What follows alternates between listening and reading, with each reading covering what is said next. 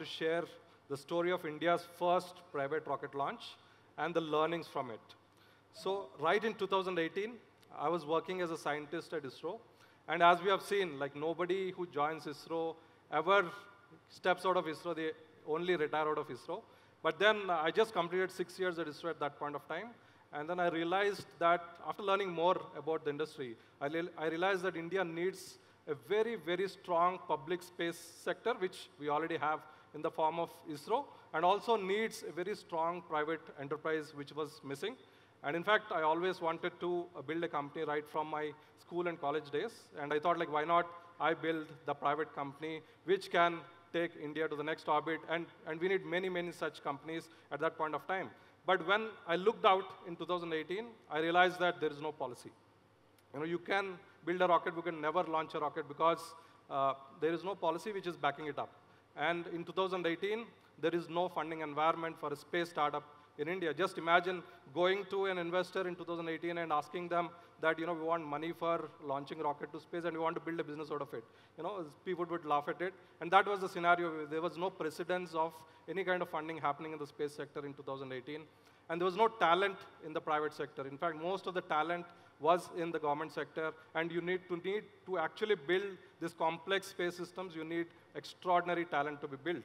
And looking at it, all odds were actually against building a successful rocket company. But still, there is some raw confidence in me which said that this is something which is very important to be done, and it needs to be done. And it made me take that leap of faith and take the plunge of starting Skyroot in 2018, along with my friend and co-founder, uh, Bharat, and uh, we started the journey. And then we started going to investors, and we started pitching the idea. And as you know, like, you know, uh, you can expect the reaction when you go and say that you want to build a rocket company and show the big dreams. Naturally, most of the people laughed at it. But still, one, one visionary investor invested in us, Mr. Mukesh Bansal, based out of Bengaluru, one of the leading entrepreneurs in the country. He believed in our vision, invested the first initial seed money in our company, and then we started the journey. We started designing the rocket. We started completing all the hardware. We started testing, etc., etc. One year passed two years passed, and then there is no sign of policy. And all our money is getting over, and we are, all our attempts to raise further money have failed, and we are unable to. It's getting more and more difficult to raise a capital. And then uh, COVID hit. You know, as you know, like the whole world came to a stall, and it is probably one of the lowest moments in our journey where you had to stick together and persist at that point of time because there's literally no resources for us to move forward. And then we, that's what we have done. We have persisted and persisted. We stuck together as a team and uh, you know, used every iota of resource we had and, kept, and kept, kept pushing and pushing the boundaries of what we could do. And then, as we persisted, one fine day, an announcement came. India has opened up the sector to private players, and which has been a landmark transformational journey after the beginning of ISRO in 1960s. I think that was a big big moment for us because government recognized that India needs strong private enterprise and then opened up the sector to the private players. And we became the first beneficiaries of it by signing the first MOU with ISRO to access their test facilities and launch facilities. After that, we raised a couple of smaller rounds. And then, uh, and then most of the people said, most of the industry veterans said, you could raise smaller funds, maybe you could raise 100 crores, but it's very, very difficult to raise several hundreds of crores. It's very difficult to grow beyond, to raise growth capital in the country. But still, we broke the glass ceiling and raised India's largest ever round in the private sector. We raised over 400 crores, and in fact, we accumulated more than 500 crores in investments in just a matter of two years, also again proving the potential of India's private sector to the world. And then, just starting with just two people in 2018, we never knew, you know, how, how, how the world would take us to. And then uh, now we're a wonderful team of 280 people and then this is a team, you know, we persisted for a few years, and then the day has come where we are able to assemble our first rocket. And this is the day, just the day before launch. We have persisted for years and years. And then, in fact, this was the day where, uh, you know, we have spent almost like weeks before this just readying the rocket at Sriharikota, which is the spaceport of India. And then, and literally most of the first attempts at rocket launches failed in the world. And then I was getting more nervous as the day of the launch is approaching. And then, in no time, the day of the launch has come and the time of the launch has come. And let's all experience the, those few initial moments of this launch now. Five,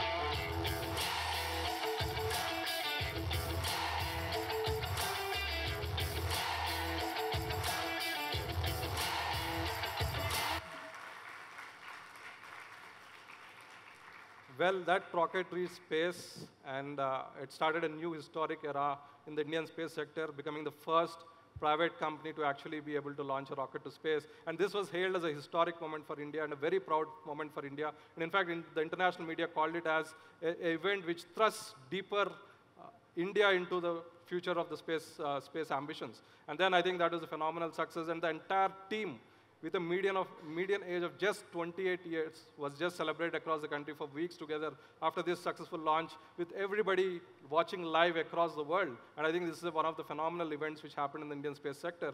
And then the journey started. And this proves that, uh, in, and also like this mission was done at a fraction of cost compared to anybody else in the world. And also one of the rarest missions where the first attempt at launch has succeeded.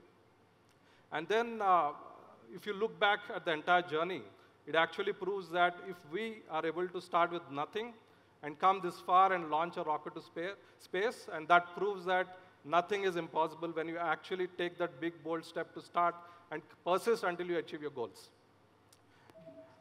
And then, and now we have launched a rocket to space. And in fact, we named that mission as Mission Prarambh because uh, we knew that even though it's a big event in the space sector, but it's just the beginning for us, and it's a very humble beginning for us, and it was just called Mission Prarambh. And then we have done a launch, we've done a successful launch, so what next? So we're building a much bigger rocket, which is seven-storied building tall, called Vikram 1, which is in the final leg of manufacturing. It'll be launching in the upcoming months. And then as we go further, we'll be doing more and more launches with time.